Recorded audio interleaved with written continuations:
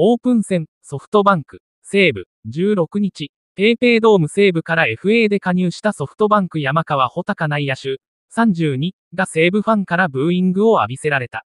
オープン戦に4番1塁で先発出場。初回の第1打席だった。西1塁の場面で4番山川が場内コールされると左翼スタンドの西武ファンからブーの声が上がった。西武先発、隅田が一球ストライクを奪うと今度はひときわ大きな歓声。